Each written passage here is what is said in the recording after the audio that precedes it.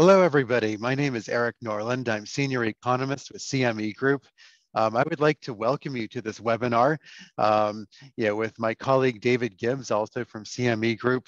Um, and to, of course, thank everybody at Tickmill, um, as well as my colleagues at CME Group who uh, gave us the opportunity to set this up uh, to talk about a lot of very, very exciting trends that are happening in global equity markets um, and interest rate markets and how those two sets of markets are very, very closely interlinked. Uh, my role in the webinar will be to talk about the economy, uh, the macroeconomic aspects of what's going on, uh, what might happen to the equity markets in the future. Um, and then uh, my colleague David Gibbs, who works on our education team, um, will uh, be able to delve into the details of how all of these futures contracts work, um, how potential trading strategies could be set up. Um, now, bear in mind, uh, we do have a lot of disclaimers on this presentation. Um, the first set of disclaimers comes from Tickmill itself. Um, they've asked me to read the disclaimer out loud at the beginning of the uh, webinar. And the disclaimer says the material provided is for informational purposes only and should not be considered uh, as investment advice. Uh, the views, information, or opinions expressed in the text belong solely to the author and not to the author's employers, organization, committee, or other group or individual or company. Um, there is an additional risk warning, uh, which states that trading futures and options comes with a high risk of losing money due to leverage. Always ensure that you understand these risks before trading. Um, in addition to their disclaimer, CME also has its own disclaimers, um, you know, basically saying that there is no investment advice given or intended. Um, this webinar is really only for educational purposes. Um, then, of course, we have our own very long disclaimer um, that basically describes CME's organizational form and how we are regulated in various parts of the world, including the United States and various European countries. Um, so with that in mind, um, I thought I would start with what I think is the most extraordinary set of developments um, that we have seen in the economy um, in many, many years. Uh, we see this here in Europe. I'm based in London. Interest rates here, of course, are soaring. Uh, we've seen the Bank of England raise interest rates from a quarter point to 4%. Uh, we've seen the European Central Bank raise rates from 0 to 3%. Both of these central banks uh, by all appearances have further to go. Um, there were a number of uh, economists, or I should say, uh, members of the Monetary Policy Committee um, at the Bank of England who spoke to the press today saying that they were thinking of another 50 basis point move um, at their upcoming meeting this March. Um, and what's extraordinary about all of this is that the European banks are still so far behind the curve. They still have interest rates uh, way below the level of inflation. Um, inflation at the core level in Europe is at 5%. In England, it's over 6%. And the banks aren't even getting interest rates within 200 basis points of that at the moment. Um, it's a little bit of a different story in the United States, which will be kind of the main topic of this presentation. Um, the United States, as I'm sure many of you know, also has its highest rate of inflation since the early 1980s. Um, and in the United States, the Federal Reserve has been a bit more aggressive than the European central banks have. Um, they've raised interest rates uh, so far by 450 basis points. Uh, the market, as we will discuss, is pricing that they probably have three more 25 basis point moves uh, that will likely take them to around five and three eighths percent, uh, bringing rates basically in line with where they were on the eve of the global financial crisis. Um, now, the global financial crisis, as we know, was a very, very rocky period for the equity market, to put it politely. Um, yeah, between the market's peak in October 2007 and its bottom in March 2009, the S&P lost 60% of its value. Um, so I think that there's a lot of potential for extreme volatility in equity markets that could result from all of these rate increases. Uh, but what's even more astonishing, I think, is here in Europe and also in the United States, um, it's not just the amount of rate hikes, it's the speed at which they have happened. Um, it's truly extraordinary. The last time we had more rate hikes in a 12 month period in the United States was back in 1981. You have to go back 42 years to find any comparable period in US history. But there's been a lot of economic changes since the early 1980s, and even a lot of changes since the financial crisis began in 2007. And one of those big changes is the level of debt and leverage in economies. Um, debt levels have been increasing all over the world. Back in 1981, the last time the central bank in the US hiked rates as much as they have this time, the debt levels were less than half of where they are today total public and private sector debt in the United States in 1981, when the Fed last raised rates this much or more, was 130% of GDP. Now it's 260%. What that means to me is that the consequences of rate hikes are twice as big today as they were back then uh, because we have tremendous amounts of debt and leverage in the economy. Now, the debt and leverage didn't matter much during the last decade. Why? Because interest rates were zero.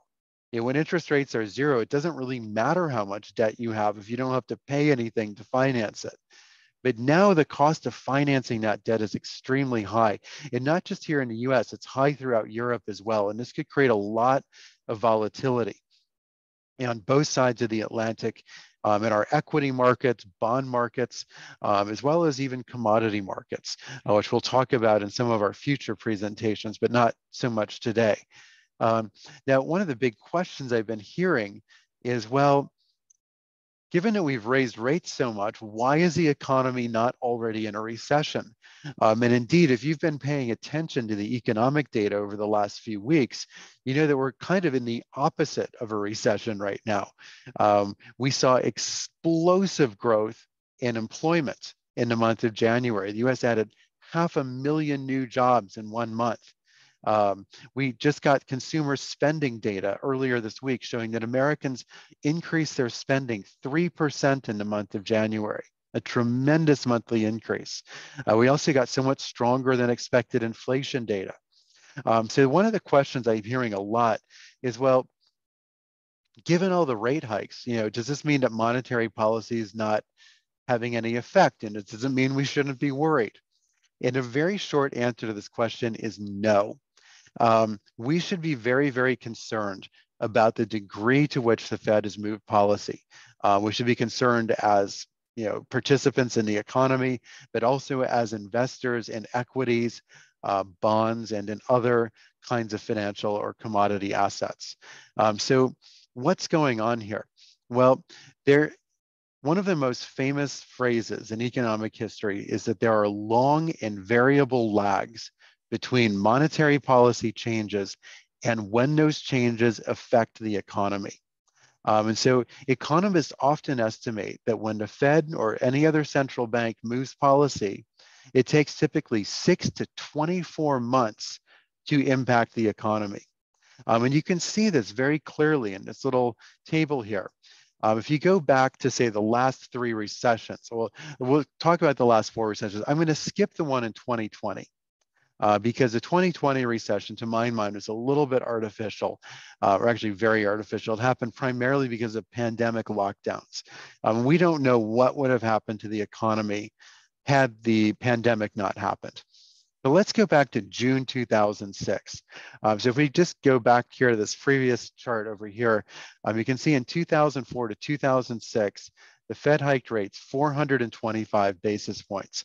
So they stopped hiking rates in June 2006. And guess what? The economy was just fine. It was just fine in July 2006 and August 2006. In fact, it was just fine even in the first half of 2007. It kept growing. It wasn't really until the summer of 2007 that the very first problems really became apparent. And the economy did not officially fall into a recession until December 2007. That was 17 months after the central bank stopped hiking rates. Now, the Federal Reserve, according to our Fed funds futures, probably won't stop hiking rates until June. So it might be that we don't have a recession until maybe the end of 2024. But don't think for a minute that all these rate hikes, which by the end of the cycle could be over 500 basis points of rate hikes are somehow not going to have an effect on the economy. If you go back a little bit further to May 2000, uh, the Fed did its last rate hike. The economy continued to grow until February 2001. It did not have a recession until March 2001. That was 10 months later. Uh, if you go way back to the previous recession, the Fed stopped hiking rates in February 1989. Uh, we did not have a recession until July 1990, 17 months after the Fed was done hiking. Um, so, yeah, the economy right now is booming, but this is very treacherous times for investors, for policymakers, and for economists. Uh, because right now we're in the lag time between a massive tightening cycle and when that tightening cycle is eventually felt by the economy. Um, now, one of the big questions facing the Fed um, is what are they going to do about inflation? Uh, well, the problem that the Fed is facing right now and the bond market is facing is has to do with its own pricing for inflation. Uh, the bond market earlier this year uh, was pricing what some people started to call um, immaculate disinflation. Um, the idea that inflation was just going to go away by itself with no help. Um, if you go back to even three weeks ago, the bond market was pricing that this year we're going to have 2% inflation. So think about that. We had 8% inflation last year, 2% this year, just like no transition. It was just going to happen like that. Um, well, the bond market started to change its view in the last couple of weeks as a result of some of these strong numbers. Um, so now the bond market is pricing around 3% inflation for the next year, and then around two and a quarter percent inflation for the year after that.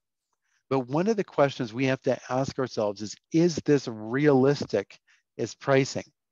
Well, when you look at the interest rate markets, the interest rate markets have changed their views a lot. Uh, so we spoke a minute ago about that blowout employment number that we got earlier this week, uh, or, or say earlier this month uh, showing on, yeah, it was two weeks ago today, showing that we had created half a million new jobs in January, quite unexpectedly.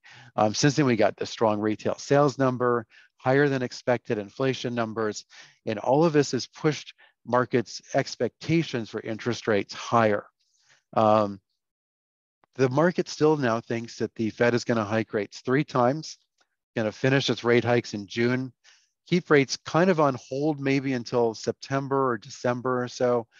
And then it's going to start slashing interest rates. And it's going to eventually cut interest rates down below 4%. Now, this is a big change. A few weeks ago, the market thought they'd cut interest rates to below 3%.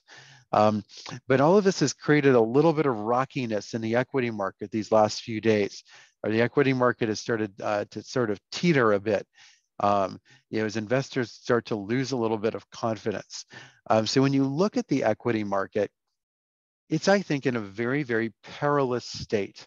Um, it's perilous for, I think, two reasons. First, it's overvalued.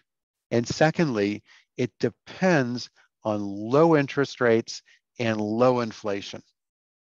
So let's talk about its valuation.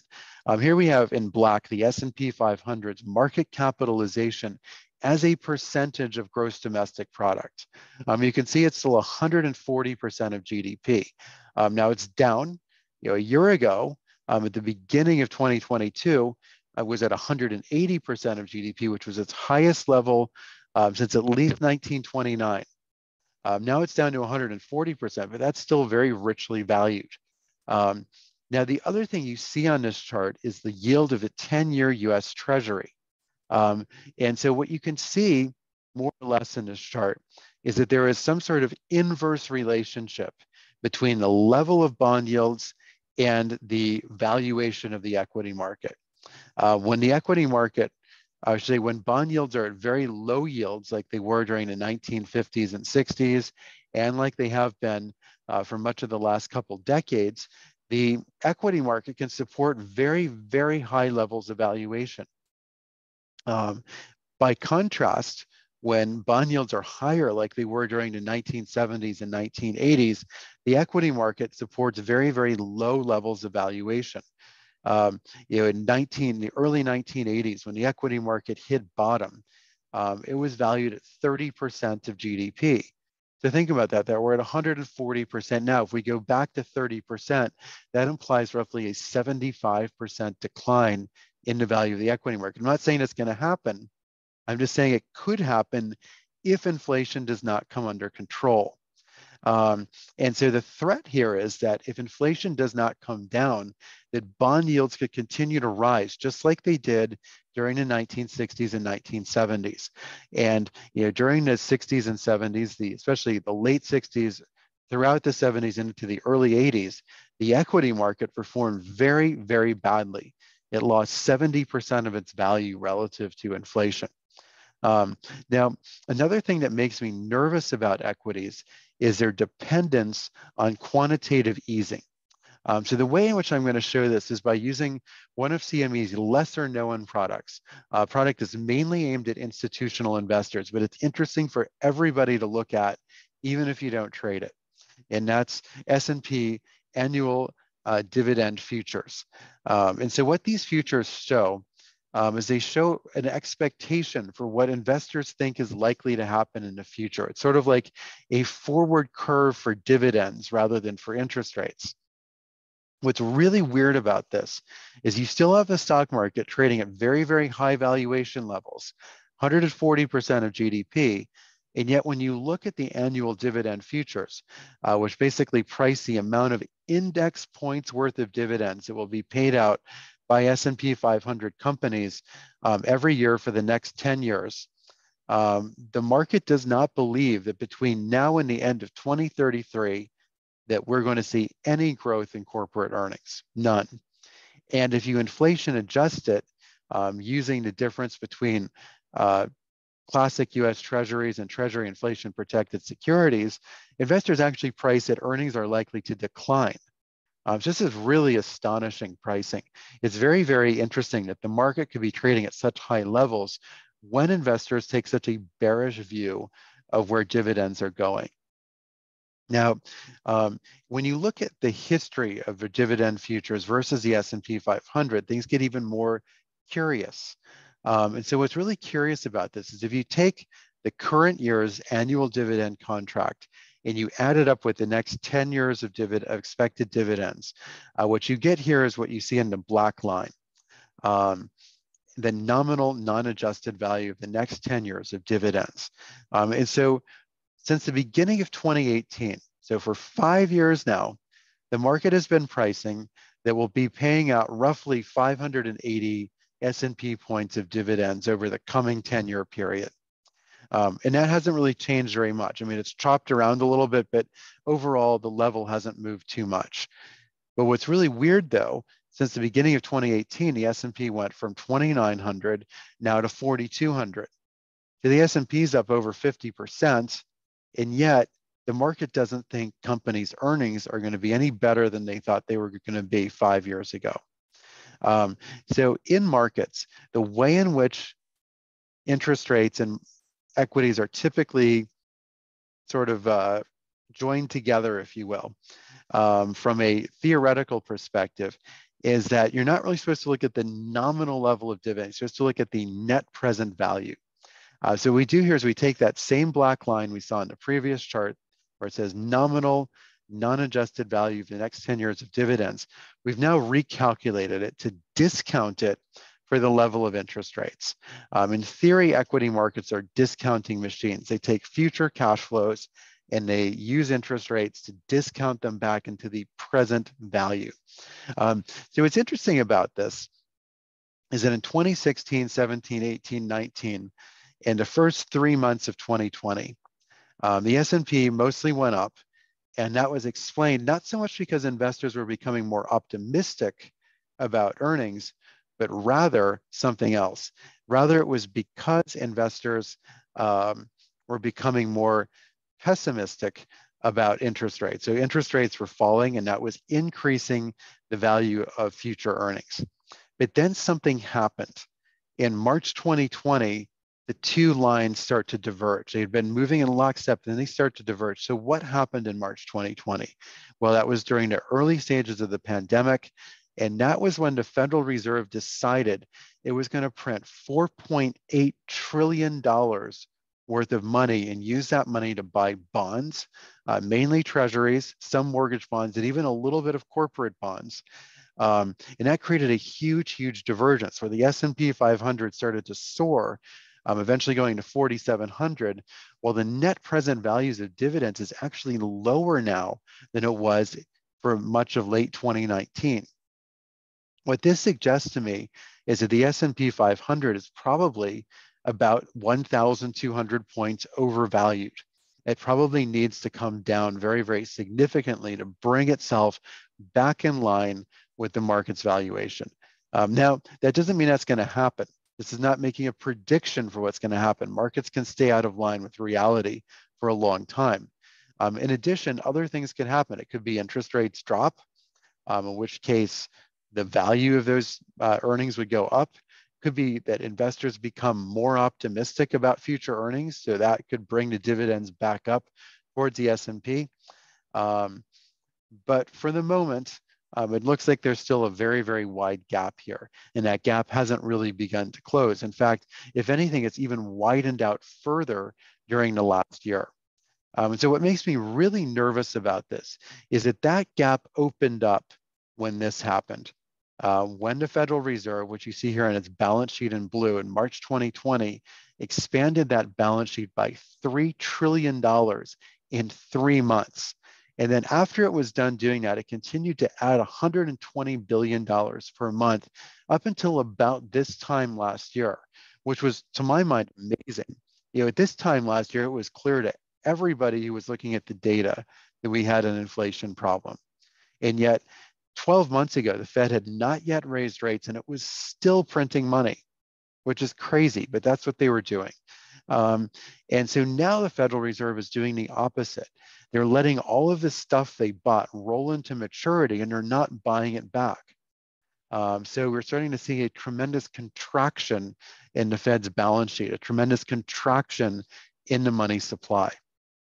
And so one of the big questions is how much longer is the rate tightening cycle going to last? And a lot of that depends on what happens to inflation um, and what happens to the employment market. So the good news on inflation is we do seem to be past the peak of inflation, both in Europe and the US. However, the employment market remains very, very tight. If you look at the Eurozone, unemployment is below by over half a percent where it was at the end of 2019. In the US, as I'm sure you saw two weeks ago today, we printed a 3.4% unemployment rate. That was the lowest since 1969, um, the lowest in you know 54 years. You have to see go back to get a lower employment or unemployment rate. Um, and what's even crazier about this is that employers in the United States are looking to hire 11 million new workers. They have 11 million job listings. I, I went to Chicago a few weeks ago. I walked by you know, a Five Guys burger. They're hiring people for $17.85 an hour. Um, you walk by almost any restaurant in the United States, as well as a lot of hotels and other service enterprises, they're having trouble finding workers. They're desperate for workers and are not finding them. Um, so wages are going up. As wages go up, that could be potentially very, very inflationary. Uh, but there's something also really important in the inflation data. Uh, we just got the inflation data earlier this week, and it was sort of a small upside surprise, but it was very, very upsetting to the market for the reasons that we mentioned. Market's overvalued, and it depends on inflation coming down and low interest rates. Um, so what was particularly upsetting about this number for the markets, I think, was one component. Um, but it's the biggest and most important component of inflation, which is the cost of home owner, the cost of renting a home. Um, home rentals account for 34.4% of the CPI index. That's more than a third of the index. Um, and rental costs have been rising by 7.8% year on year. Now, in the United States, the cost of renting a home typically follows the cost of buying a home with a lag of about 21 months on average.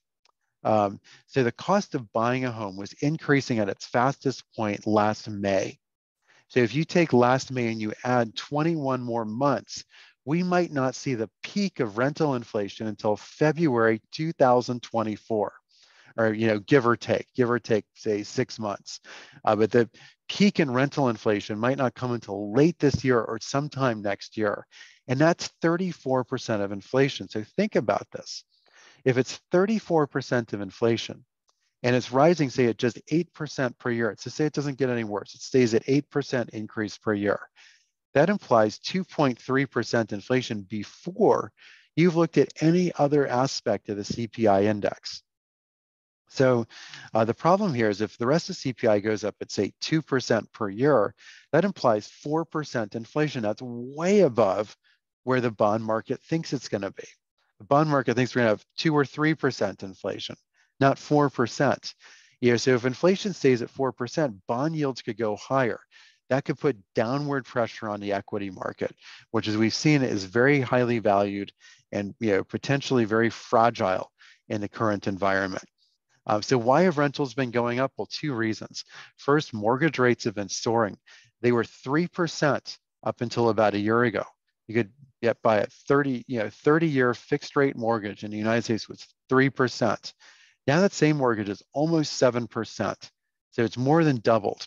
Um, so this takes a lot of people who would have liked to have bought homes and forced them into the rental market. Uh, the other problem is that vacancy rates are extremely low you know, people, some people may be worried about a repeat of 2008. I'm not worried about a repeat of the global financial crisis. We're going to have maybe a different crisis. It's not going to look like the global financial crisis. You know, before the global financial crisis, there was huge amounts of vacancy. 10% of apartments in the United States were vacant. Today, that number is below is around 5.8%. It's the lowest it's been since the early 1980s.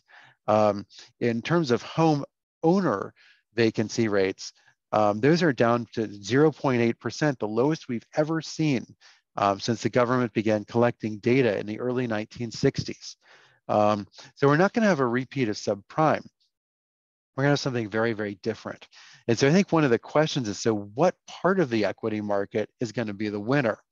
Uh, well, over the last decade, since the huge bull market began um, in March 2009, uh, the really big winner has been the NASDAQ. Uh, tech dominated has done really, really well. Um, the S&P has done fine. Uh, the Russell 2000 has done okay. The Russell 2000 is an index of small cap stocks. It's been a bit of an underperformer, uh, but the NASDAQ has done well for one reason, and that's that it is dominated by IT and technology companies. It also has a lot of big healthcare companies and big consumer discretionary companies. For example, Tesla is categorized as consumer discretionary. Um, I think the problem, though, uh, for investors who've become enamored with the NASDAQ is that we have seen an almost perfect sector reversal between what happened in the first two years of this decade in 2020 and 2021 versus 2022. Um, basically, every sector that did really well uh, back in the first two years of this decade um, did really badly last year. And every sector that did really poorly at the beginning of this decade suddenly started to do very well. Um, and so we've seen these kinds of sector reversals happen many times, or they typically happen once a decade in a really big way. For example, the winners of the 1990s were tech stocks. They were the big losers of the next decade from 2000 to 2009. Um, the big winners uh, from 2000 to 2009 were things like uh, consumer staples, health, materials, utility, and energy stocks. They were the big losers uh, during the 20 teens. Um, so I think we're heading for a major sector reversal, and that has a lot of implications for how the different equity indices that trade on our market could behave. Um, so for example, the S&P 500 and the Russell 2000 have had very similar performance uh, since the Russell index began in 1979. Um, in fact, if you look at a long-term chart, it looks like they do the same thing. But if you take the ratio of them, you see something very different. Um, you see very strong periods in which the Russell 2000 uh, goes up versus the S&P and very strong periods in which it goes down. And those periods often last maybe half a decade or more. Uh, but the key pattern to look for here is when it happens. So during the last great inflation, small cap stocks uh, back in the late 70s and early 80s way outperformed large caps. Um, you know, and the same thing happened during the recession in 1990 and 91. Um, the same thing happened uh, during the tech wreck in the early 2000s and during the global financial crisis. Small cap stocks prospered. Why? Because they have less debt and they're more nimble and they can move themselves and reposition themselves faster than big companies can. Um, so if we go through a period of economic turbulence, perhaps another recession next year, which looks increasingly likely, small caps could be the big outperformers. Um, I would just mention very briefly, there are times when large caps outperform, but they tend to outperform in the late stages of economic expansion, uh, like during the great expansion in the 1980s, the second half of the expansion in the 1990s, and the second half of the expansion during the 20 teens. That's the time to own large cap stocks, but it can be very, very risky now. Small cap stocks may be the big bargain here in the market. Um, just one last slide for you before I turn everything over to David. This is the Russell 2000 versus the NASDAQ. Um, the NASDAQ had a tremendous bubble in the late 1990s where it just massively outperformed small caps. Um, so if you take the Russell 2000 and you divide it by the NASDAQ 100, small caps just plummeted in terms of large, in terms of you know big tech companies in the NASDAQ 100. But then when the tech bubble popped in the early 2000s, everything went very strongly in reverse and small caps had a huge huge outperformance. Well small caps have been out have been underperforming very strongly ever since about 2009 as we saw. Um, but i'm wondering maybe if that's about ready to reverse uh, if a lot of these very highly valued tech stocks might respond poorly to a highly inflationary environment in which interest rates go up. Um, but a lot of smaller companies that people don't pay any attention to that people have completely overlooked and ignored might be more nimble and fast acting about adjusting to a new environment. Um, so uh, I'm going to stop sharing my slide deck for a second. I'm going to let David put up his. I'm going to turn things over to him. Um, David and I will take questions jointly at the end. So think of any questions you might have, um, and then you can um, you can uh, ask them uh, to both of us uh, once David's presentation is over. All right, so David, over to you. Erik, can you see my screen? I can, yes. Yeah. All right, let me get into presenter mode then. That should be full screen now, yes? Yep, looks great.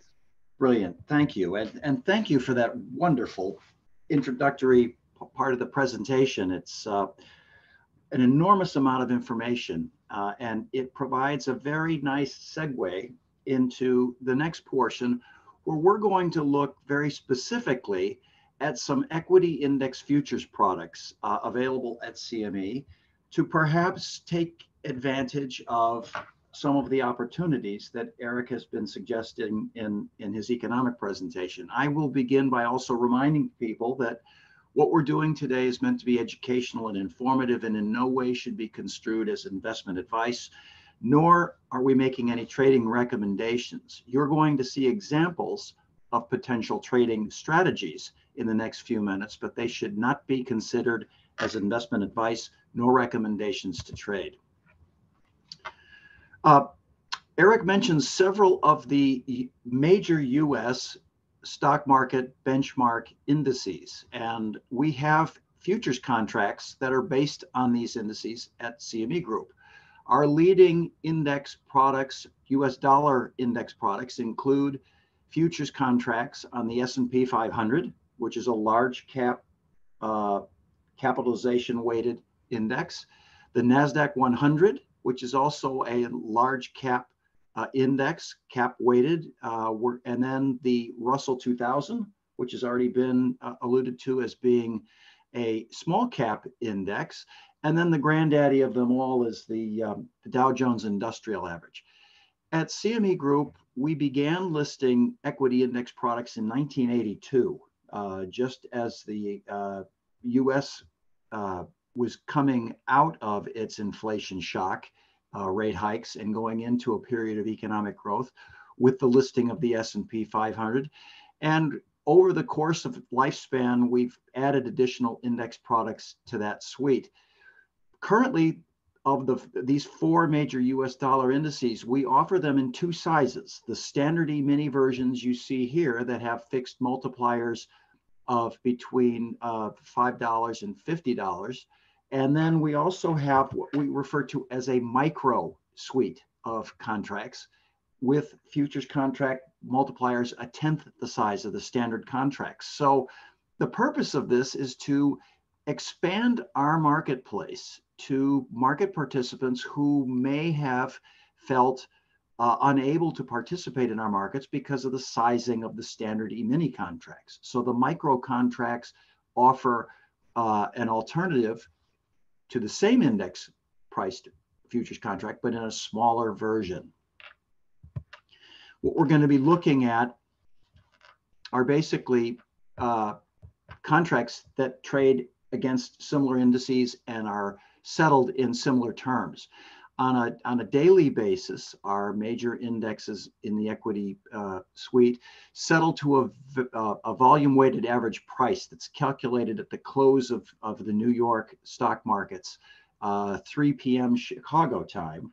Uh, in the last 30 seconds of trade, that volume weighted average in the futures contract results in the settlement value of the futures contracts.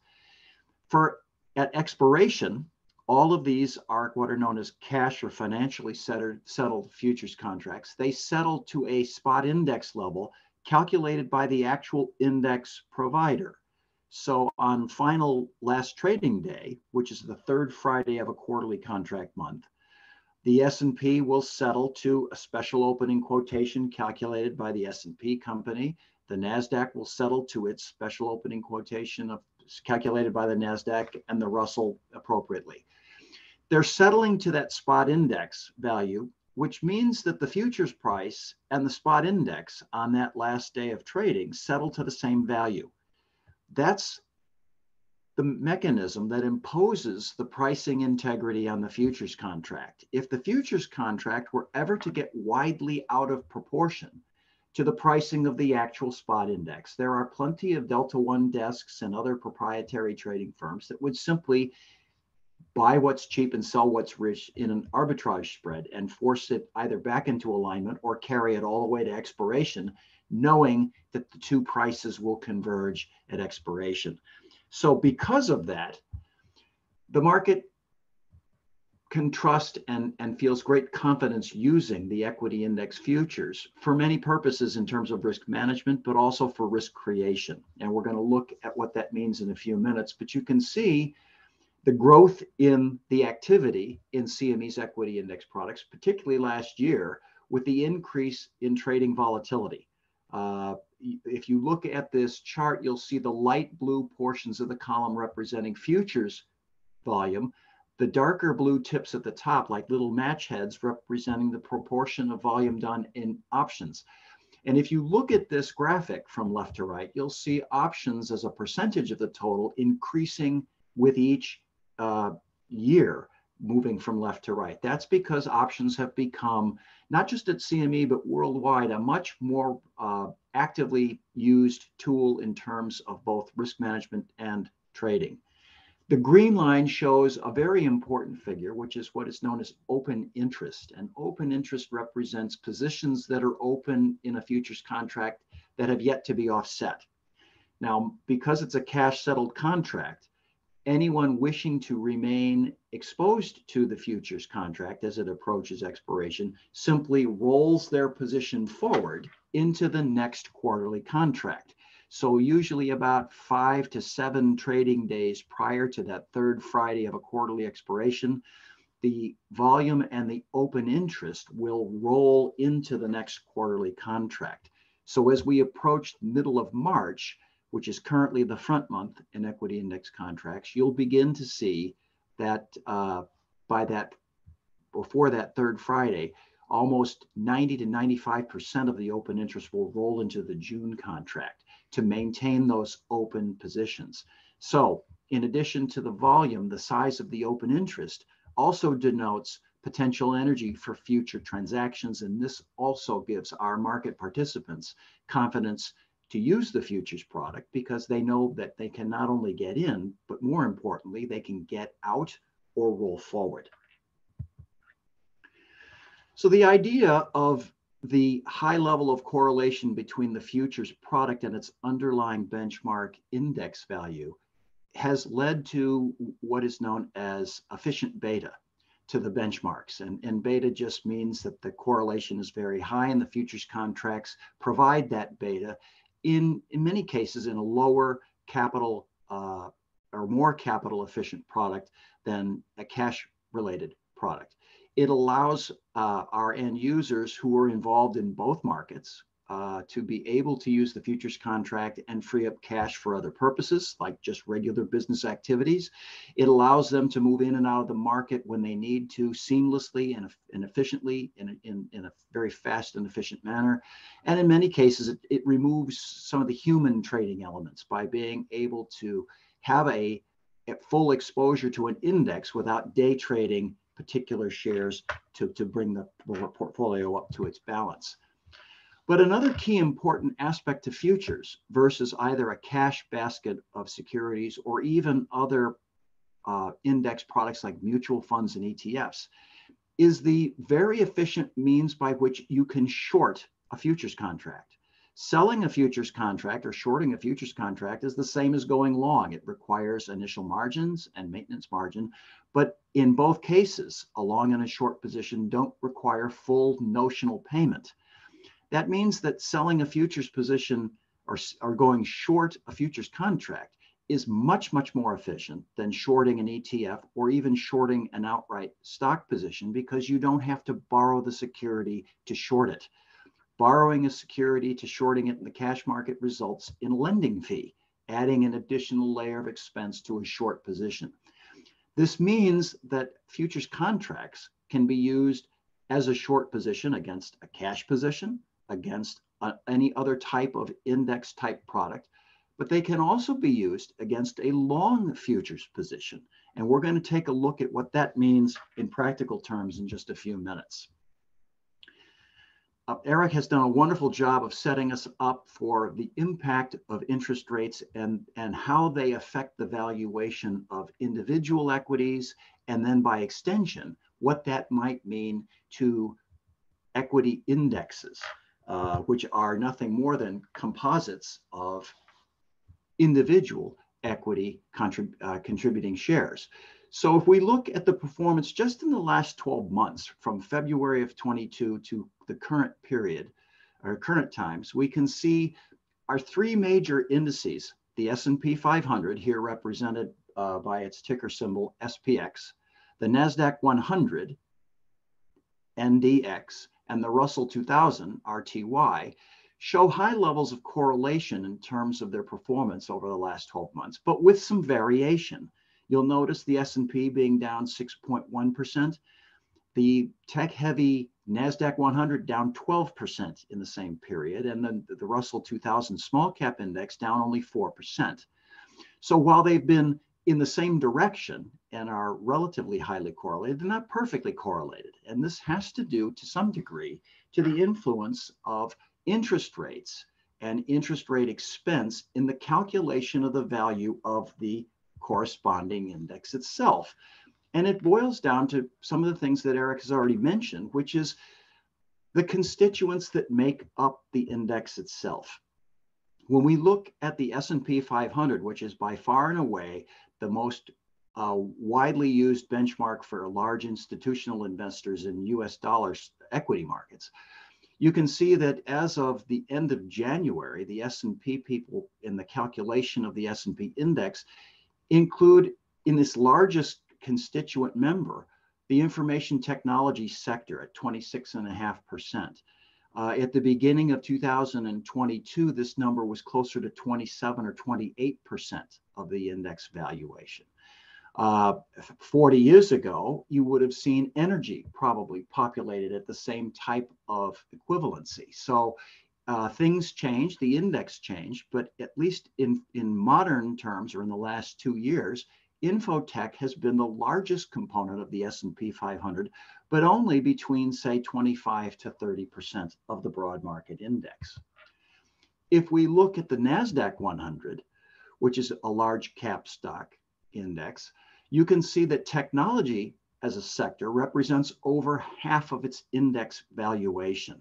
And it's followed uh, by telecoms, which are also uh, a sector that's influenced by rising interest rates. But technology, because of its consideration in growth companies or as a growth company, are widely impacted in terms of their valuation by forward or the, or the slope and level of forward interest rates. So the tech heavy NASDAQ 100 index has been more dramatically uh, impacted, negatively impacted by rising rates in the last 12 months. If we consider the Russell 2000 index, you can see it's also widely diversified, but in small cap companies. And because most of the technology companies tend to be larger in capitalization in terms of their uh, in, uh, inclusion into these indexes, telecom and, and technology are smaller in the in the Russell 2000 index. It's dominated by industrials and financials and healthcare companies. But again, smaller smaller cap companies and a smaller exposure to a more interest rate sensitive sector like infotech. So that if we consider the NASDAQ 100 futures contracts as they've performed in the last 12 months relative to rising rates, here represented by a generic two-year treasury yield. You can see the two-year has gone from roughly 1.5% last February to above 4.5% currently. In that same period of time, up until about the turn of the year, the NASDAQ 100 trended lower and uh, as was represented in an earlier slide, down 12% over this period of time.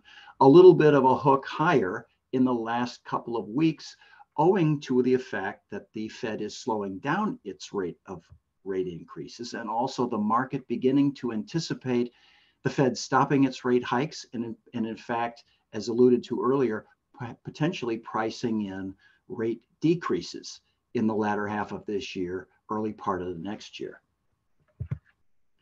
So how might this be played out? Well, certainly users of the futures market can simply buy or sell the index futures themselves. And we have an expression at CME where the choice of index matters. And you can see, depending on your point of view about the index or about how it might be impacted by rates, might affect your choice of index for a long or short market strategy.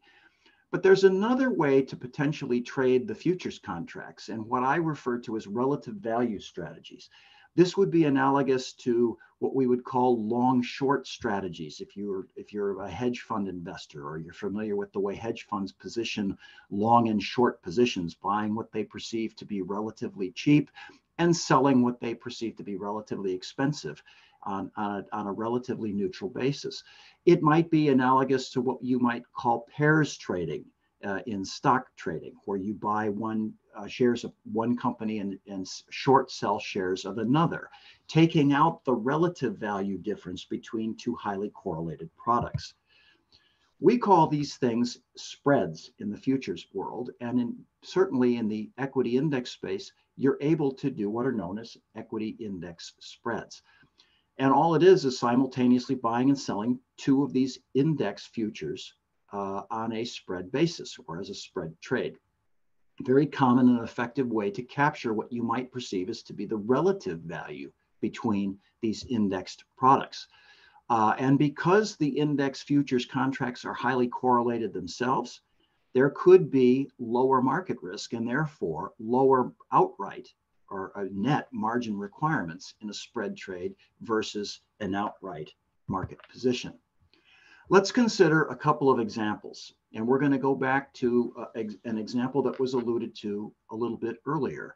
If we consider uh, the Russell 2000 small cap index as a spread to the NASDAQ 100 index, in this case on a two to one basis because of their different valuations in terms of their notional value of futures contracts. And look at the way that spread performed within a rising interest rate environment here represented by the yield on the two-year treasury. You can see that through most of 2022 a two to one ratio spread small cap to large cap or Russell 2000 to the NASDAQ 100 actually performed very, very well. Uh, the spread tails off here at the beginning of the year as, uh, again, that the, the market's perception that the Fed may be slowing down rates or potentially stopping and easing late this year, early next year, uh, caused the spread to back up just a little bit. How did it perform over the course of the last 12 months? Well, the NASDAQ 100, the tech heavy NASDAQ, as previously reported, down 12%, where the Russell was only down about four. Uh, how that worked out from a P&L standpoint on a two to one weighted spread, a net gain of $26,000, owing in large part to the gain made on the short position on the NASDAQ. This is again one of the benefits of using a futures contract. The ability to sell them short is as seamless as going long. And then if you look down in the bottom, because the spreads represent lower market risk to the clearinghouse, clearing rewards this type of a position with a 70% margin credit. So if you look at the uh, individual costs of initial margins on these positions and deduct from it a 70% credit, the net margin is significantly lower than the two legs by themselves, meaning that the return on the trade or return on the capital use to create this trade is significantly higher.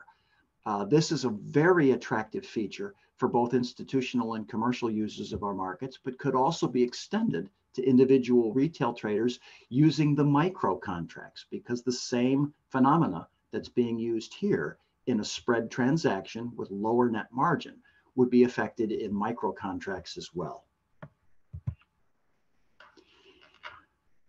Another example using other index products available at CME Group include two futures contracts from the Russell 1000 suite of products. Russell 1000 is a large cap index, and it is also listed in two sub index 1000 products, one being the Russell 1000 Value Index, the other the Russell 1000 Growth Index.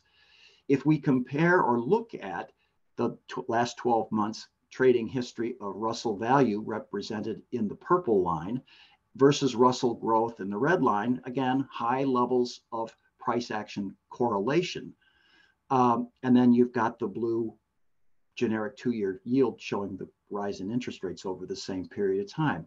Both of these indexes uh, moving, uh, you know, pretty much unchanged throughout the course of the year, but maybe slightly lower.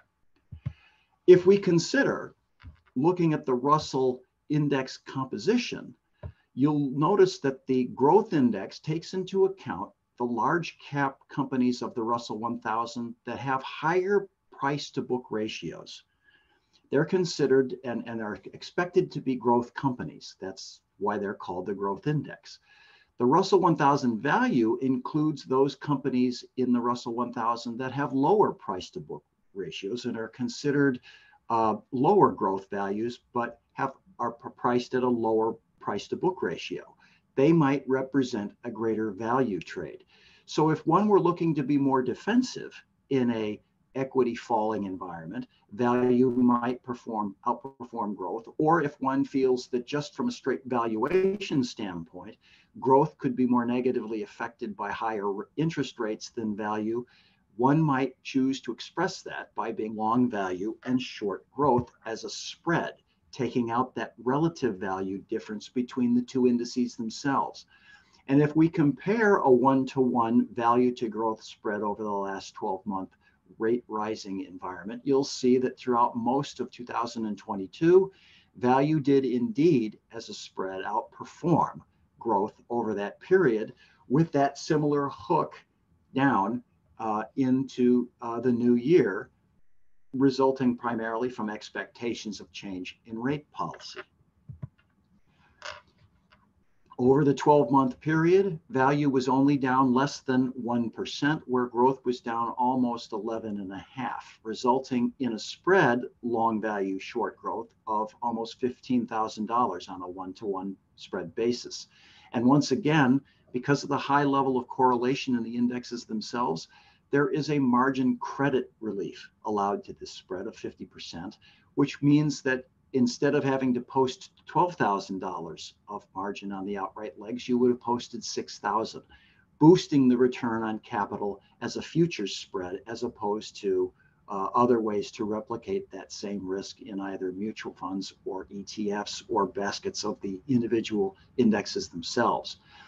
So hopefully this gives you an example of how futures contracts can be used to replicate the risk of indexes themselves, either outright long or short, or might be considered as potential relative value trades as index spreads against them as either broad market indexes or more refined indexes like uh, Russell value, Russell growth. That concludes my, my formal remarks. And I think what we'll do now is open up uh, the webinar to questions from the audience. I'm going to stop sharing my screen so we can uh, potentially share individually as necessary. Welcome back, Erik. Yes, thank you. That was a great presentation, David. Very interesting. I really love the uh, charts you had, especially on the um, the sector weightings for the Russell, the Nasdaq, and the S&P 500. It really does show you how they can perform so differently from time to time. In addition to the capitalization differences, just what that composes them can be so vastly different. Well, that's one of the things and the reasons why I love this this Tim McCourt tagline where choice of index matters. Uh, and if you're tracking stock indices, it's very important to understand the constituent makeup of the underlying index itself, because they do perform differently uh, in different market environments. Uh, these were the sorts of things that you pulled out in your presentation, but are also highlighted in, in the price performance of, uh, of the various uh, spreads that were demonstrated in, in my part of the presentation. So uh, I don't I don't see any questions coming in. Are there any questions from uh, any of the audience at this point? Yeah, I just typed into the chat. You know, please type in any questions. We're happy to answer. You, know, you have both of us online for, I guess, up to I don't know, half an hour more if you want. You have plenty of time. I know it's late for a lot of the participants here in Europe including for me, it's already seven o'clock in the evening. So I understand, you know, people might not be, you know, wanting to ask questions, but let's see if we have any. Maybe give it another minute here, another couple minutes.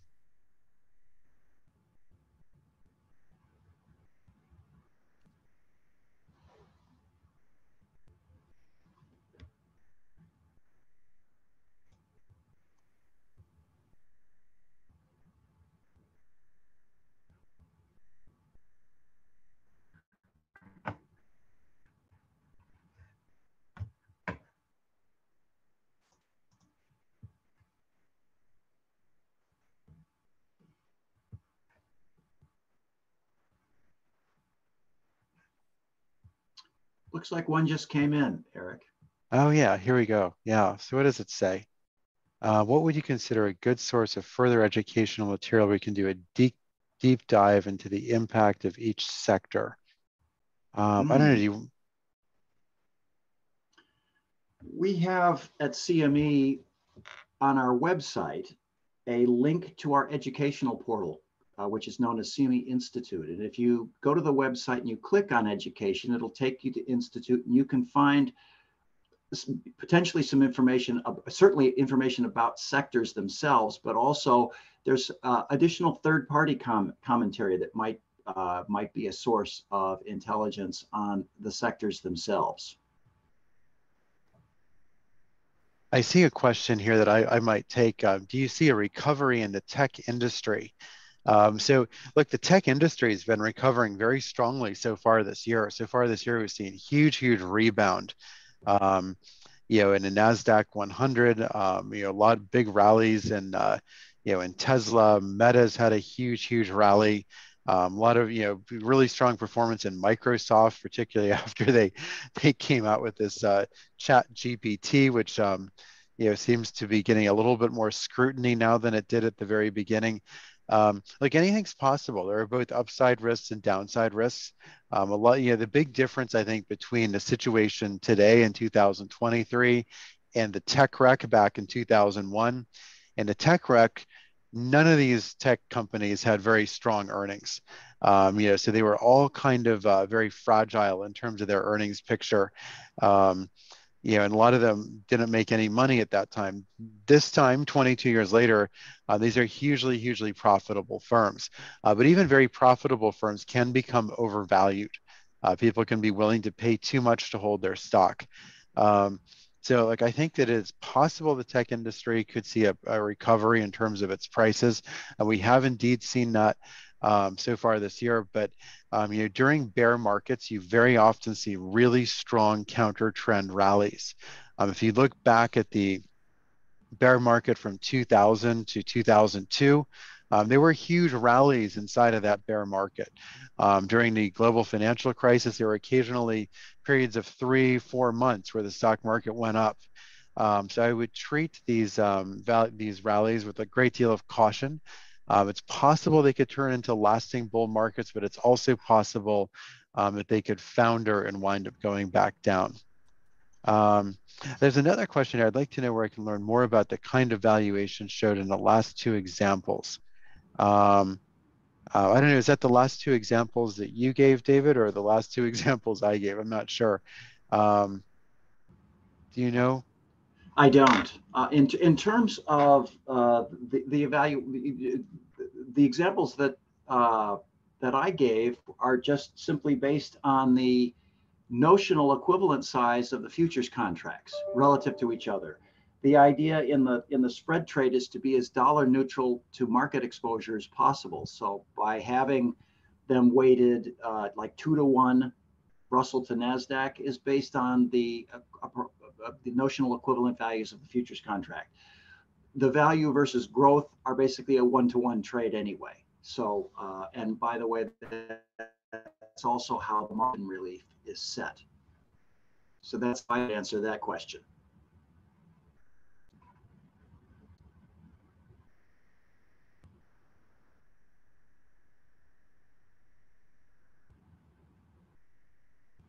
I don't know, Erik, are you uh, still still available?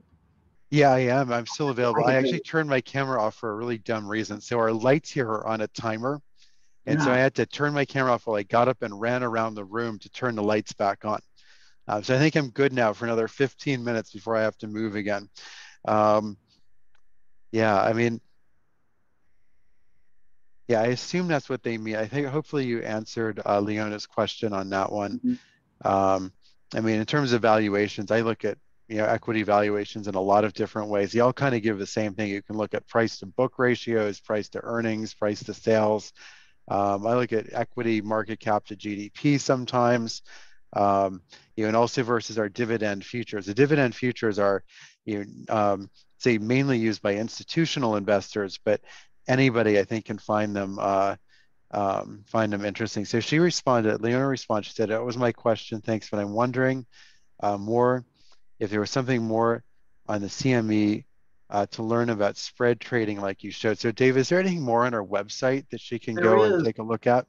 There is through CME Institute. If you go into the Institute's uh, curriculum, there will be specific uh, archive material on spread trading.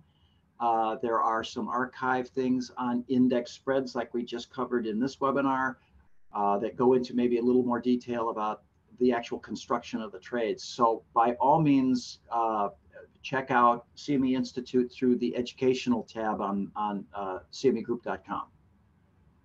Yeah, so cmegroup.com, educational tab. Yeah, I mean, there should be a whole bunch of more information in there.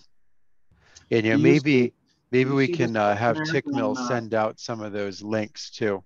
That'd be yeah, that's great. Do you see the question about uh, the Fed? Can can the uh, Fed still engineer a soft landing?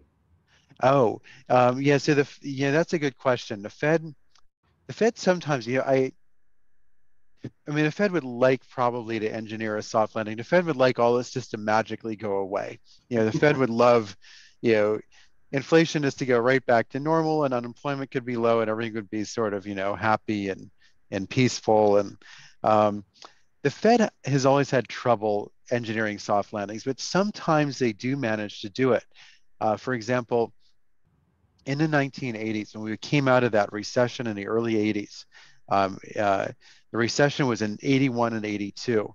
Um, then in 83 and 84, we had the strongest economic growth I think we've ever seen in peacetime. Um, the economy had a, about a year and a half period where it was growing at an 8 to 9% per year, uh, which was too fast. So the Fed raised rates and they managed to engineer a soft landing in the middle of the 1980s, uh, where in 85 and 86, the economy slowed way down, but it kept growing. Um, there were sectors of the economy that were in recession. It was a terrible time for farmers. The auto manufacturers didn't do well.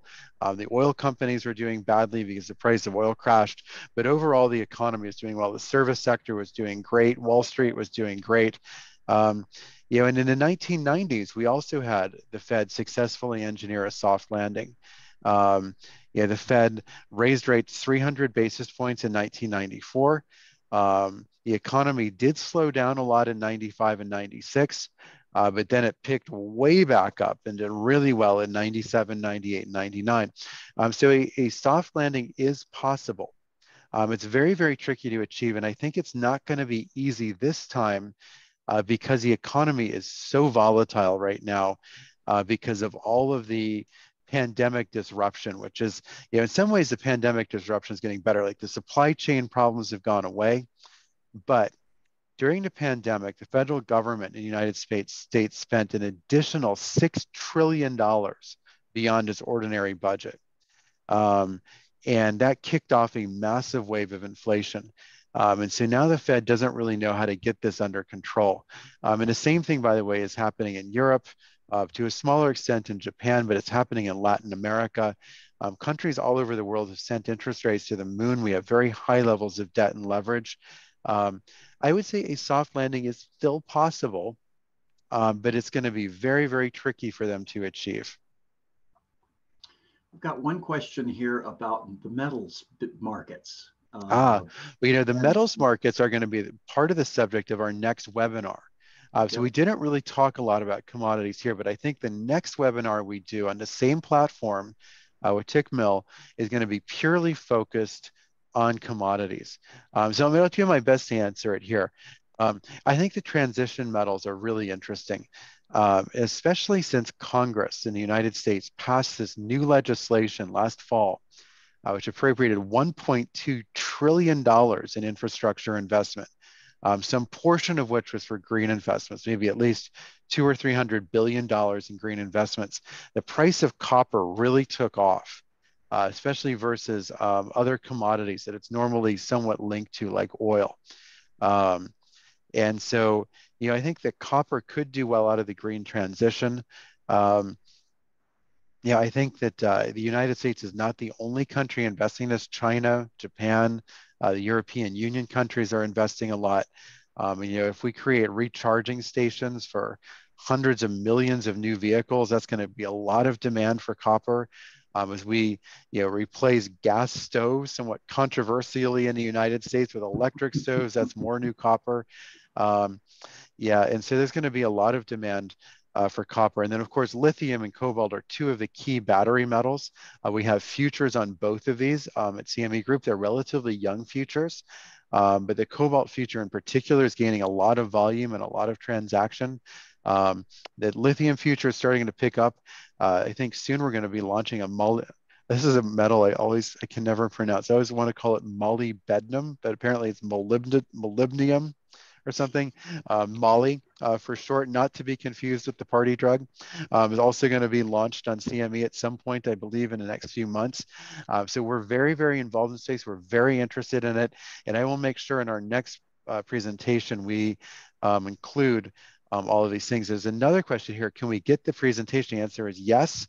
Um, I will PDF my version of the presentation, my part of it, uh, send it to Tickmill and they can distribute it. Um, we're very happy to do that.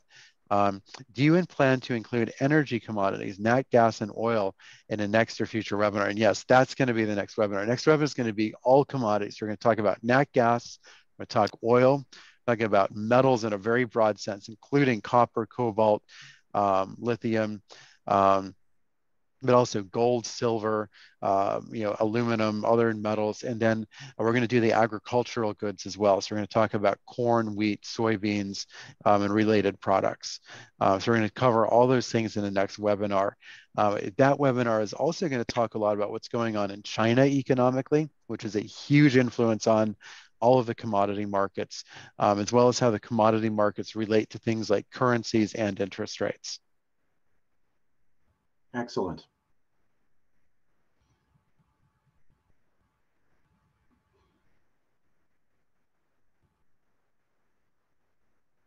All right, do we have any other questions? I'm not really seeing any other questions, but we have a little mm-hmm. extra time if anyone has any.